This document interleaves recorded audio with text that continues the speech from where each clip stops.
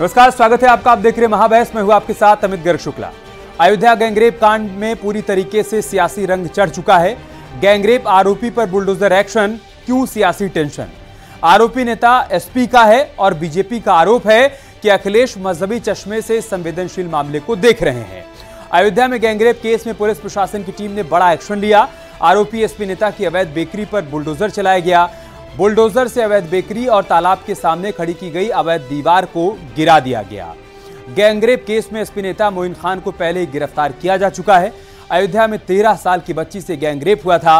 Bulldozer action पर अखिलेश यादव ने सवाल उठाए हैं। एसपी के अध्यक्ष अखिलेश यादव और अयोध्या से एसपी सांसद अवधेश प्रसाद ने डीएनए टेस्ट की मांग की है। वहीं मायावती ने पूछा कि अखिलेश यादव बताएँ कि डीएनए टेस्ट का मतलब क्या है। साथ ही ये भी बताएँ कि एसपी ने अपने शासनकाल में कितने डीएनए टेस्ट करवाए थे। आज इसी पर करेंगे डिबेट लेकिन सबसे पहले आप एक रिपोर्ट देखें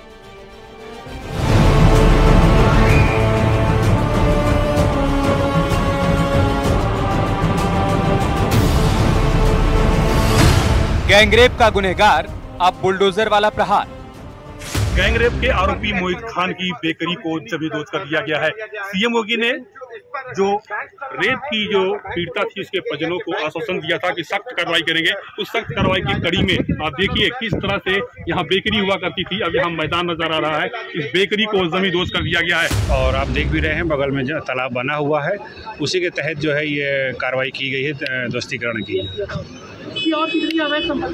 इस संबंध में अभी जाँच की जा रही है और जैसे जैसे संपत्तियों को पता चलेगा, उसमें जो भी अवैध होगी तो उसमें विधिक और उचित कार्रवाई की जाएगी। बीजेपी का वार अखिलेश दे रहे मजहबी आधार।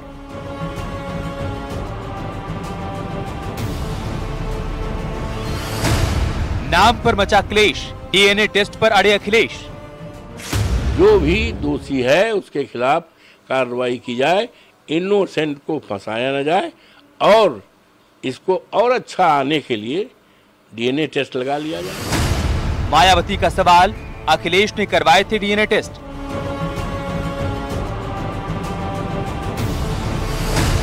बीजेपी का आरोप, रेपिस्ट को बचाना चाहते हैं अखिलेश। उनकी पार्टी का नेता बलात्कार करता है मोहिदीन खान और अखिलेश यादव उसको बचा रहे हैं और डीएनए टेस्ट की मांग करते हैं। अखिलेश जी, आपकी मांग ये बताती है कि आप कहीं ना कहीं सारे मामलों को धर्म के चश्मे से देखते हैं और धार्मिक आधार पर आप बलात्कारियों को बचाना चाहते हैं।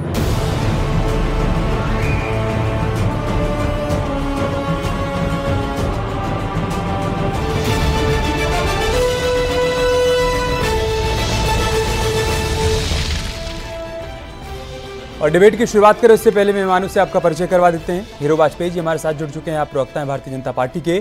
अनुराग भदौरिया जी थोड़ी देर में हमारे साथ जुड़ने वाले हैं, आप समाजवादी पार्टी के प्रवक्ता हैं। प्रियंका गुप्ता जी हमारे साथ जुड़ चुके हैं, कांग्रेस पार्टी के नेता हैं प्रवक्ता हैं और राजेश पासवान साहब हमारे साथ जुड़ चुके हैं, दलित चिंतक हैं। ब्रजेश शुक्ला जी हमारे साथ जुड़ेंगे आप, वरिष्ठ पत्रकार हैं। आप सभी का बहुत स्वागत है इस चर्चा का हिस्सा बनने के लिए। हीरो वाजपेयी जी, मैं शुरुआत आपसे कर रहा हूँ। समाजवादी पार्टी का यह कहना है कि अगर आप चाहते हैं कि इस मामले में पीड़िता को इंसाफ मिले और दूध का दूध और पानी का पानी हो तो आप लोग बुलडोजर एक्शन से पहले डीएनए टेस्ट क्यों नहीं करवा लेते? देखिए, मुझे लगता है कि उनकी इन बातों का जवाब, बहन मायावती जी ने दे दिया कि जब अपना शासन काल था, तमाम घटनाओं में उन्होंने डीएनए टेस्ट की बात। हाँ वो ये डीएनए, ये ज़रूर दिख रहा है कि तुष्टीकरण की बात जमकर उनके डीएनए में आ रही है। और इस डीएनए से वो पीछे जाएँगे तो देखेंगे तमाम, जब इस तरह का उनको मजहबी बुखार चढ़ता है तो वो पिछड़ा दलित नहीं देखते। वो सिर्फ़ ये देखते हैं कि एक मज़हब का व्यक्ति चाहे वो अपराधी हो, चाहे बलात्कारी हो, उसके पक्ष में वो खड़े होते और मुझे लगता है योगी आदित्यनाथ की सरकार में उनकी ये भेद पूरी तरह खुल चुका है। जब माफियाओं पे बुलडोजर चला तो वो सामने आ गए, जब बलात्कारियों पे बुलडोजर चला तो वो सामने आ गए। और ये भारतीय जनता पार्टी लगातार कहती रही है, सरकार में चेहरे भले ही बदले हो, मुलायम सिंह हो या अखिलेश यादव हो, ये सरकार अपराधियों के सहयोग से, बलात्कारियों के सहयोग से ही उन्होंने चलाई। और यही बात देखिए तो हर अपराधी के साथ खड़ा हो जाना चाहे अतीक अहमद हो, चाहे मुख्तार अंसारी हो, चाहे आज ये मोइन हो। और रही बात बलात्कार की तो हमेशा कहा उनके पिताजी कह गए, लड़के हैं, गलती हो जाती है। और मुझे लगता है उस जमाने में मोहित मोहित लड़का ही रहा होगा, वो चाचा की उम्र का हो गया, उससे गलती हो गई। और बचाने के लिए अखिलेश जी सामने आ गए, क्योंकि पिताजी की कई बात पर समाजवादी पार्टी चल रही है। और वो बचाने के लिए खड़े की डीएनए टेस्ट हो जाए। अरे भाई, उनके काल में बहुत सारे बलात्कार हुए, एक में भी डीएनए टेस्ट कराया हो, बता दे। तब उन्होंने अपनी बिरादरी के या पिछड़ों की अन्य बिरादरी के दलित बिरादरी के जहाँ कहीं भी अल्पसंख्यक चेहरा दिख गया वहाँ वो बदल जाते हैं और उन पर एक अजब सा बुखार चढ़ जाता है। फिर वो ना पार्टी देखते ना मर्यादा देखते ना सीमाएँ देखते ना समाज देखते ना देश देखते ना प्रदेश देखते हैं। ओके। अनुराग भदौरिया जी क्या दिक्कत क्या परेशानी है? अगर रेप के आरोपी के खिलाफ बुलडोजर एक्शन हो रहा है तब? पहले बोला फिर बोल रहा हूँ कि इस समाज के अंदर बच्ची के साथ, महिला के साथ कोई भी अन्याय करेगा, उसे कड़ी सी कड़ी सजा मिलनी चाहिए।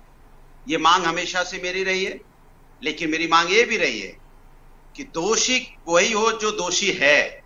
एंड ऐसा ना हो कि गलती से हम जो दोषी नहीं है, उसको सजा दे दें। इसलिए नार्को टेस्ट और डीएनए टेस्ट हो जाएगा। जो तो दोषी होगा, उसको ऐसी सजा देना कि नजीर बने। हम तो हमेशा से कहते आए मैं इनसे पूछता हूँ हमारी सरकार थी क्या बीजेपी ने नार्को टेस्ट डीएनए टेस्ट किसी के लिए मांगा? क्या क्या, क्या इन्होंने यहाँ बीएचयू की घटना हुई थी? तीन तीन अपराधी थे। क्या उनके यहाँ बुलडोजर गया था? मैं पूछना चाहता हूँ। क्या अजय टनी मिश्रा के यहाँ बुलडोजर गया? मैं पूछना चाहता हूँ। क्या लखनऊ के अंदर में आपने क्यों शक क्यों होता है? शक तब होता है जब लखनऊ में 20 बच्चे बदमाशियाँ करते हैं एक बेट एक एक बहन और भाई को छेड़ते हैं। उसके बाद विधानसभा के अंदर में दो लोगों का नाम लिया जाता है। जी। पवन यादव और मोहम्मद बीस लड़के क्या थे? सबको सजा मिली है ना? जब आपने कहा एक सेकंड भदौरिया जी। भदौरिया जी। हाँ बात पूरी बात पूरी करिएगा। जब आपने कहा कि किसी भी बच्ची के साथ किसी भी नाबालिग के साथ किसी भी महिला के साथ कुछ भी गलत हो तो जो भी दोषी उस पर कार्रवाई होनी चाहिए। तो हमें लगा कि आप इस पर सियासत नहीं करेंगे।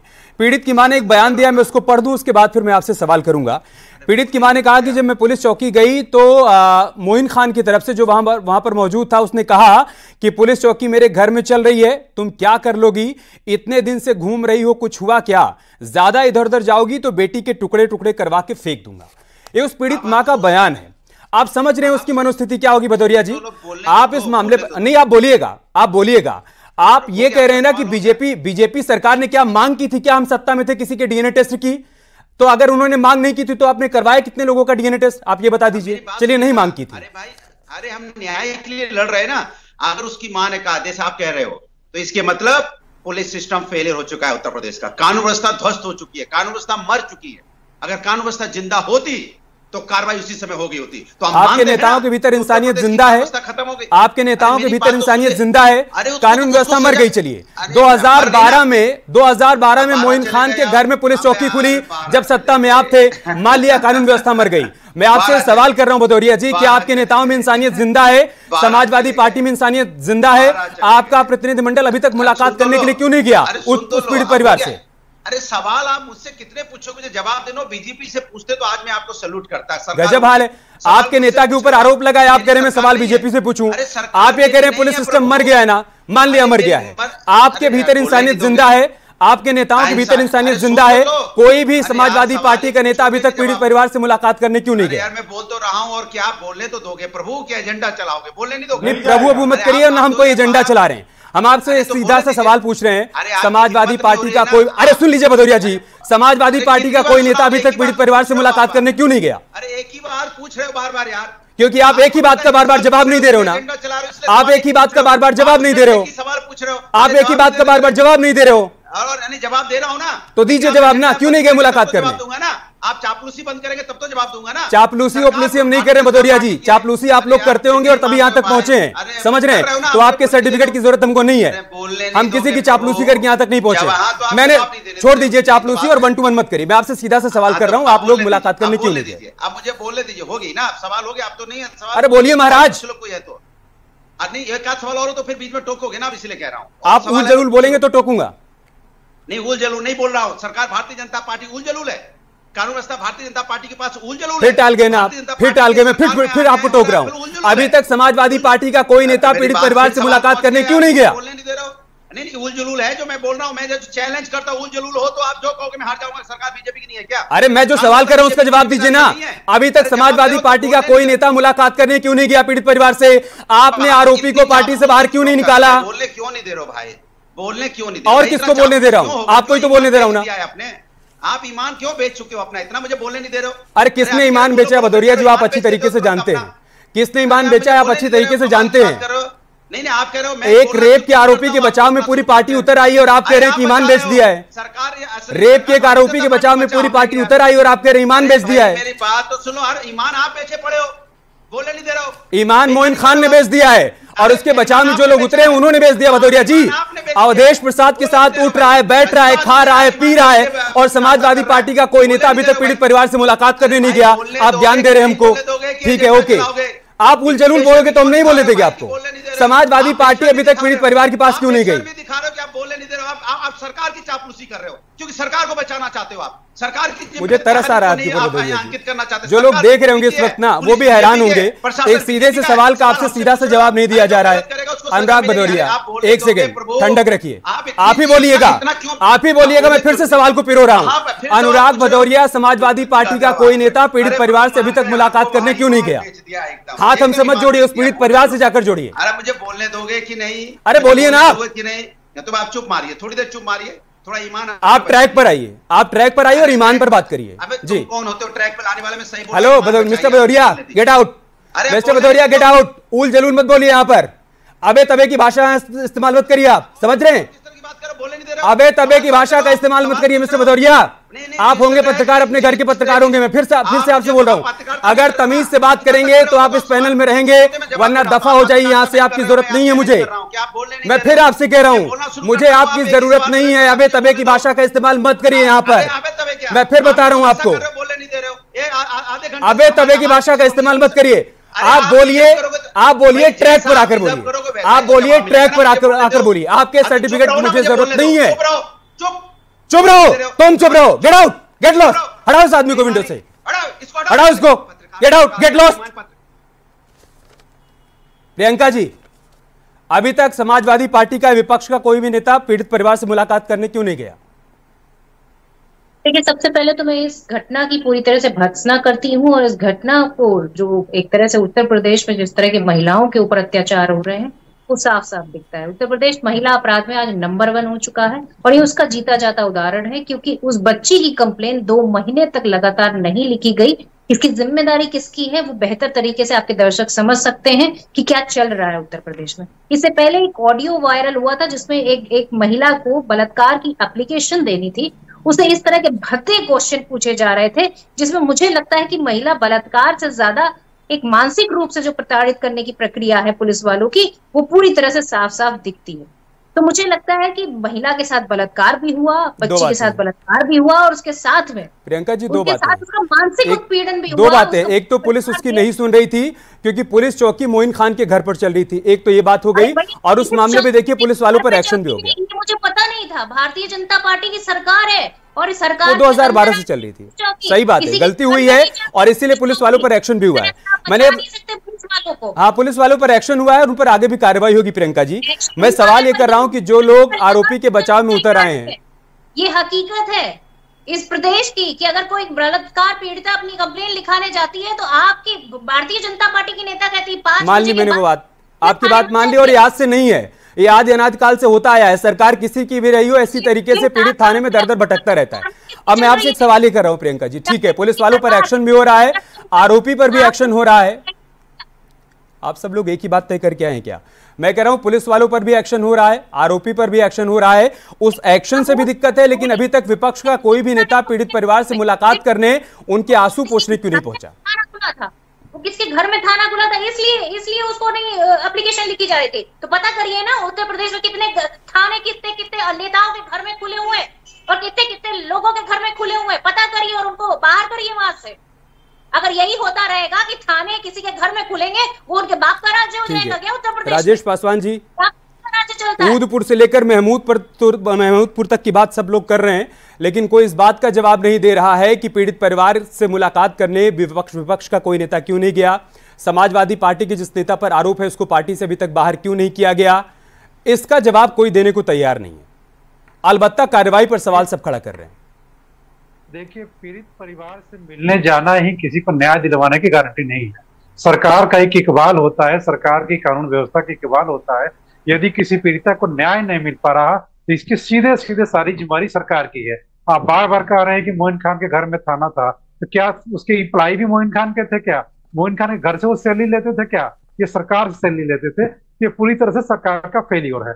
दूसरी बात मैं कहना चाहूँगा, बहुजन समाज पार्टी की एक ऐसी पार्टी है जो अपने पार्टी के, अपने पार्टी के के द्वारा अगर कोई गलत काम करता है तो उसके ऊपर एक्शन लेती है, अपनी पार्टी के रहने के बावजूद, सरकार में रहने के बावजूद। बाकी जितनी पार्टियाँ हैं, अपनी पार्टी के समर्थकों को उसको बचाव करती हैं। खुद बीजेपी भी अपनी अपनी पार्टी के बलात्कारियों का फूल माला पाना के स्वागत करती है।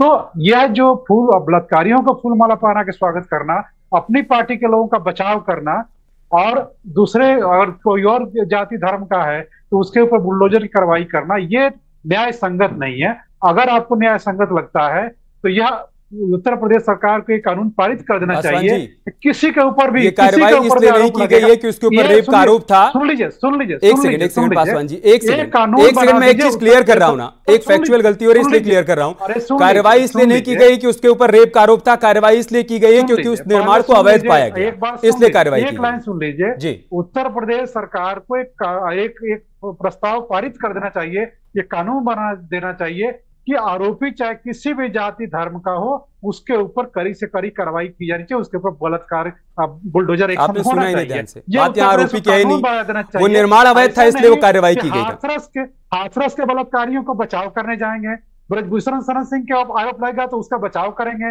और कोई दलित और ओबीसी कम्युनिटी का आएगा तो उसके ऊपर बुलडोजर चला देंगे। यह न्याय की अवमानना आप ये कह रहे हैं कि सिलेक्टिव कार्रवाई हुई इसका जवाब मैं हीरो वाजपेयी से लूँगा। लेकिन एक बड़ी खबर आ रही है वो दर्शकों को बता दें अयोध्या गैंगरेप केस से जुड़ी बड़ी खबर आई है। सीएम योगी ने रेप पीड़िता की मदद की है पीड़ित के परिवार के लिए मदद राशि भेजी है। सीएम ने पाँच लाख रुपए की सहायता राशि भेजी है। पीड़िता के घर चेक लेकर पहुँचे स्थानीय विधायक। पीड़िता की माँ बोली, सरकार की कार्रवाई बिल्कुल सही है। पीड़िता की माँ की तरफ़ से रिएक्शन आया है कि जो कार्रवाई चल रही है इस पूरे मामले में बुलडोजर एक्शन हो रहा है। वो कार्रवाई सही है। तस्वीरें हम आपको दिखा रहे हैं। जब स्थानीय विधायक सहायता राशि का चेक लेकर पहुँचे थे, पीड़ित की माँ से उन्होंने मुलाकात की और सहायता राशि का चेक उनको सौंपा है। सीएम योगी की तरफ़ से पाँच लाख रुपए की आर्थिक सहायता पीड़ित परिवार को दी गई है। उन्नाव के बलात्कारियों पे बुलडोजर चला था, हाथरस के बलात्कारियों पे बुलडोजर चला था। ठीक है। सवाल यहाँ पर यह खड़ा हो रहा है, एक तो आरोप लगाया जा रहा है कि सिलेक्टिव कार्रवाई आप लोग कर रहे हैं, किसी मामले में कार्रवाई होती है, बुलडोजर एक्शन देखने को मिलता है, लेकिन किसी किसी मामले में नहीं देखने को मिलता है। दूसरी तरफ़ सवाल यह भी उठ रहा है कि अगर मोइन खान के घर में पुलिस चौकी चल रही थी तो ये बात पुलिस के आला अधिकारियों को नहीं मालूम थी। क्या ये बात शासन प्रशासन को नहीं मालूम थी? 2012 से चल रही थी। 17 तक समाजवादी पार्टी की सरकार थी, लेकिन 17 से लेकर अब तक आपकी सरकार है। देखिए, बहुत सारी बातों में जो तथ्य सही है, उनको झुटलाने का देखिए, कोई अधिकार मुझको प्रवक्ता के नाते नहीं बनता। हाँ उसके यहाँ चौकी चल रही थी, पर क्या है कि कई बार चौकियाँ मकान में खुलती हैं और सरकार की फ़ाइल में दर्ज रहती हैं और जब तक कोई ऐसी घटना नहीं होती उसका भेद या उसकी जो सामने स्थिति होती वह सुतर नहीं आती। जहाँ तक अभी आपके दलित चिंतक महोदय ने कहा कि साहब कार्रवाई पार्शियल होती है कभी इनके पक्ष में होती कभी सिलेक्टिव होती मैं कहता हूँ ऐसा नहीं है। भारतीय जनता पार्टी में जहाँ कहीं भी ऐसी कार्रवाइयाँ हुई है किसी को नहीं देखा गया। ब्राह्मण है ठाकुर है दलित है बैकवर्ड है बनिया है जो दोषी पाया गया। हाँ जो अभी तक बुलडोजर बुलडोजर वहीं चल सकता है जहाँ उस जहाँ उस आदमी ने देखिए या तो आप बोल लीजिए या मैं बोल लू मैं जरा सभ्य प्रवक्ता हूँ बीच में नहीं बोलता हूँ। जी आप बोलिए। अगर आपको कोई बात कहनी है कह लीजिए मैं फिर उत्तर दू फिर उत्तर दू आपको। अभी कुछ दिल में हो तो कह लीजिए मैं जवाब दू ठीक है राजेश जी टोकटा की नहीं। मैं कह रहा हूँ कि हाँ देखिए ठीक है। मैं फिर से आऊँगा आपके पास आऊँगा। अपनी बात पूरी करिए आप हीरो जी। देखिए, कार्रवाई सिलेक्टिव नहीं होती है। कार्रवाई आपके देखने का नज़रिया सिलेक्टिव है, क्योंकि आपको किसी वोट बैंक की चिंता आपको भी है। भारतीय जनता पार्टी किसी जाति विशेष, किसी धर्म विशेष की पार्टी नहीं है। हम सबके साथ समान व्यवहार करते हैं और हमारी सरकार में बड़ी बड़ी नजीरें बनी, जो आप, आपकी सरकारों में फले फूले, उनको नस्तनाबूद हमारी सरकार ने किया। योगी आदित्यनाथ जी एक सख्त प्रशासक हैं। और वो रहेंगे। जब तक वो मुख्यमंत्री हैं आप उनसे इस तरह के अपराधी बलात्कारी कोई रिलीफ की उम्मीद नहीं कर सकते।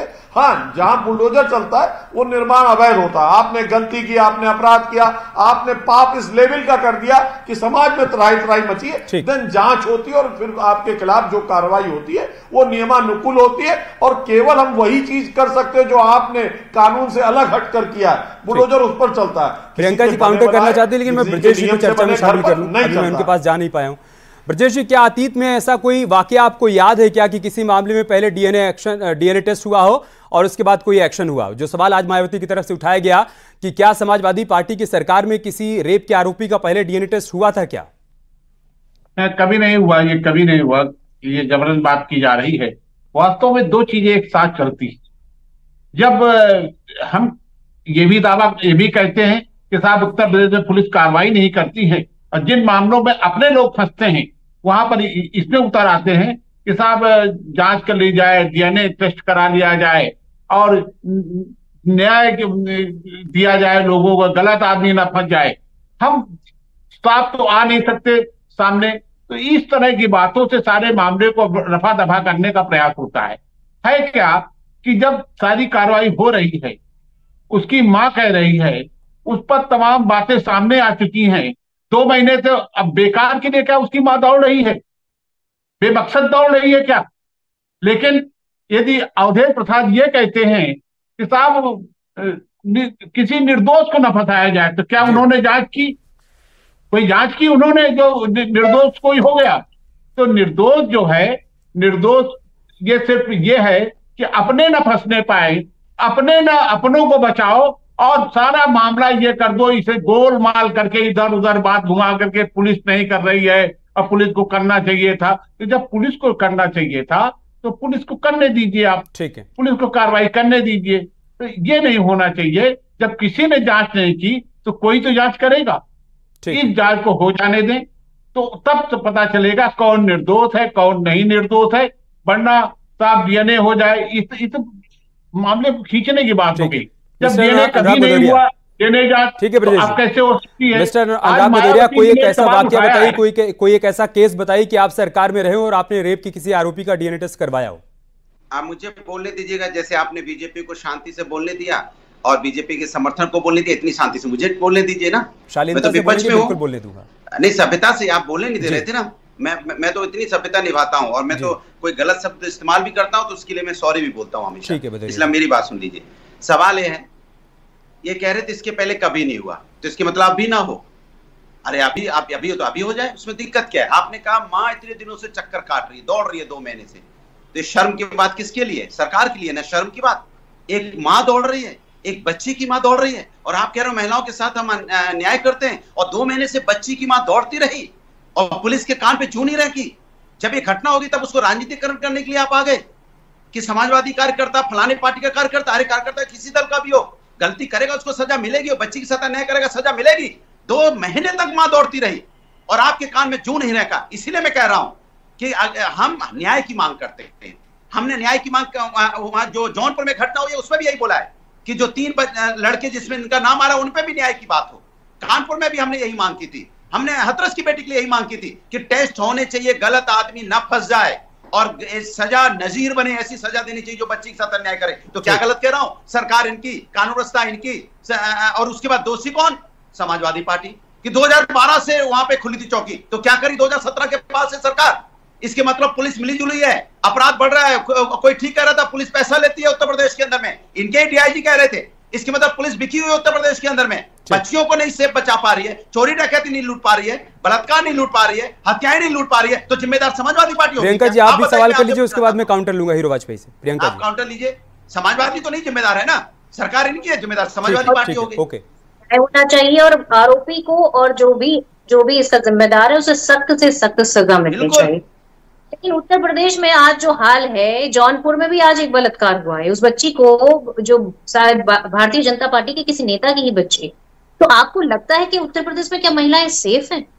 आज आज की बात नहीं बता रही हूँ। जब यहाँ पर गृह मंत्री जी आए थे उन्होंने कहा था कि रात के 12 बजे उत्तर प्रदेश में महिलाएँ सड़क पर गहने पहन के घूम सकती हैं। तो आपको लगता है कि रात के 12 बजे के महिलाएँ यहाँ गहने पहन के घूम सकती हैं? लगातार रेप केसेस की घटनाएँ बढ़ती चली जा रही हैं और सरकार हाथ पे हाथ धरे बैठी हुई है।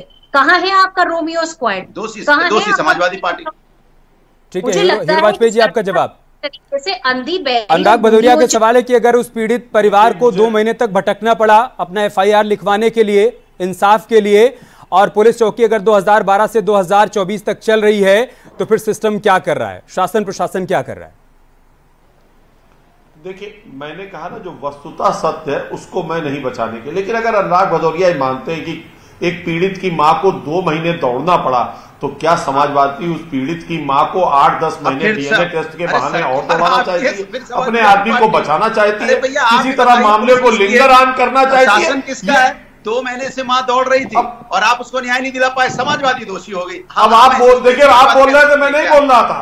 आप बोल रहे तो मेरा पूरा सवाल सुन लीजिए फिर बात करिए। पार्टी क्या? देखिए मैं सब्ज़ी मंडी में नहीं बैठा अरे। वाह बधाई आप मैं इस तरह से डिबेट कर नहीं कर सकता दो महीने से आप मेरी बात सुनिए उसका जवाब दीजिए। आप क्यों है लिंगर तो ऑन उसकी करना चाहते। आप मतलब क्यों चाहते क्यों उसके पक्ष में खड़े होकर तो हमें तो ना। डीएनए हमें बोलो, नहीं, आप बोलो, जाँच केवल आपका एक ही ज़िम्मेदारी नहीं, आप ज़िम्मेदारी कि आप लेते हैं। कहते हैं हम मामला लंबा खींचे बोलिए आप ऑन कैमरा। लंबा खींचे पुलिस- नहीं नहीं वो- बोलिए उत्तर प्रदेश की पुलिस कुछ नहीं कर पा रही है और हम न्याय दिलाएँगे चलिए गारंटी देता हूँ आपसे अब आप कह दो कि हमारी पुलिस नाकारा है हमारी पुलिस हाँ, हमारी पुलिस न्याय अरे आप क्या न्याय दिलाओगे आप है, है तो न्याय दिलाओगे हूँ क्या कैसे न्याय दिलाओगे आप तो बोल अपराधी दीजिए के आप। पक्ष में खड़े हो बोल दीजिए न्याय क्या दिलाओगे आप तो कहते दीजिए डीएनए टेस्ट हो। और आपने तो आपने तो बोली बात है आप? कि बच्चे हैं, गलती हो सकती समाजवादी है। अब वो बच्चा चचा बन गया गलती करके। मैं तो कह रहा हूँ जो भी दोषी हो उसे कड़ी से कड़ी सजा मिले नजीर बने अच्छी सजा मिले। इससे ज़्यादा क्या बोलूँ मैं? ठीक है। नजीर बननी चाहिए। यही हो रहा है। जो यही हो रहा है हो। 20 लाख रुपए यही हो रहा है विजय जी- मिला रहे हो। यही हो रहा है विजय क्लोजिंग कमेंट आपका। क्या सिलेक्टिव कार्रवाई हो रही है। क्या? इस वजह से स्थिति उत्पन्न हो गई है। ब्रजेश जी। देखिए अब ये पुलिस की जाँच आगे बढ़े तब समझ में आएगा। पुलिस की जाँच हो रही है। अब ये कैसे मैं तो बिना जाँच के नहीं कह सकता हूँ कि किसी निर्दोष पर कार्रवाई न की जाए पहले डीएनए जब जाँच आगे बढ़ेगी तब समझ में आएगा सारा कुछ। अभी जाँच वास्तव में लेट हुआ है। इसमें कौन कह सकता है कि लेट नहीं हुआ है? अब जाँच हो रही है जाँच के परिणाम भी सामने आएँगे। और फिर लेकिन एक बात समझने की है जी। उसकी बात दो महीने से दौड़ रही है। एक आदमी का नाम ले रही है लड़की भी एक आदमी का नाम ले रही है। तो हम कैसे कह सकते हैं कि कोई निर्दोष है? हम किस मुँह से कहते हैं इस बात को कि निर्दोष पर कार्रवाई ना की जाए? नहीं। एक एक पहले नाबालिग के साथ एक क्या वो झूठ बोल रही है? है। एक नाबालिग के साथ रेप हुआ है। आप सोचिए उसकी मनोस्थिति क्या होगी। उस माँ की मनोस्थिति क्या होगी जो अपनी बेटी के लिए इंसाफ चाहती है और उसको दो महीने लग गए एफआईआर लिखवाने में। और उसे चौकी से ये कहकर भगा दिया जाता है कि चौकी तो मेरे घर में चल रही है तुम क्या कर लोगे? ये ये सिस्टम के लिए बहुत चिंता का विषय है और बहुत ही शर्मनाक विषय है। इस मसले पर राजनीति करने के बजाय हमें लगता है कि सबको एक सुर में कहना चाहिए कि जिसने भी उस नाबालिग के साथ गलत किया है, उसके खिलाफ कड़ी कार्रवाई होनी चाहिए।